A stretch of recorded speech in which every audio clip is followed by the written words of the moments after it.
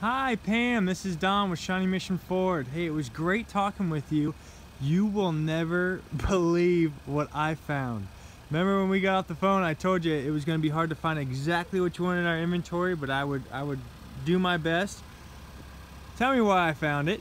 I found a white platinum tri-coat 2017 Ford, X, or Ford Escape, excuse me, with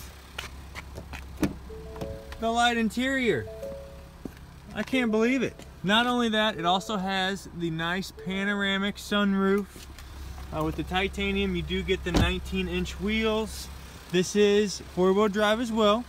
And it also has the 2.0 EcoBoost, which has a lot of pep in it. I know that was something that you were pretty particular about, but uh, I can't, I'm still a little speechless. I really was not expecting to find exactly what you were looking for back here, but we did.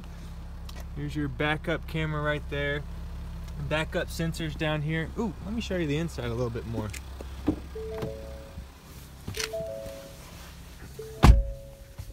Does have your heated seats down here. Your big 8 inch display, which is also a huge backup camera. And like I said, the light interior, this is so awesome. You can't tell, I'm a little bit excited.